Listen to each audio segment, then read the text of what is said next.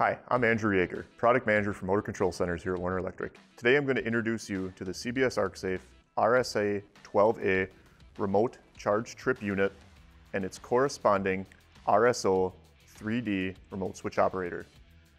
This setup is for the low voltage DS style breakers.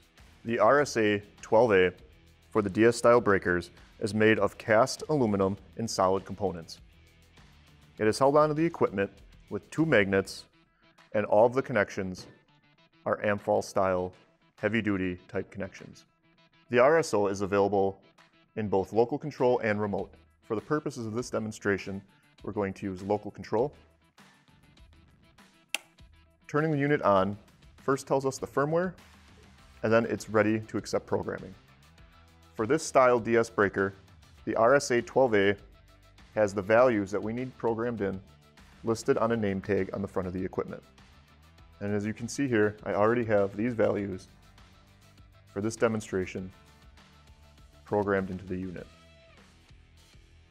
From this local control, we're able to completely control the RSA-12A.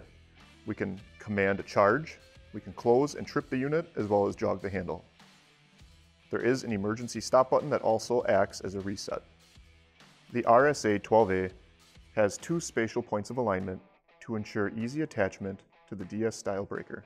Installation is simple by resting the unit on the handle of the circuit breaker, sliding it over the charging handle, and aligning the pin. So currently our DS style breaker demo is in the closed position. To trip it on the local control, all that is needed is to press the trip button and you'll hear the breaker trip. Now that our DS style breaker is in the open position, I'm going to recharge the breaker remotely using the charge close button on the local control. While that is happening, the RSO3D will count for us the cycles that it's operating the handle in.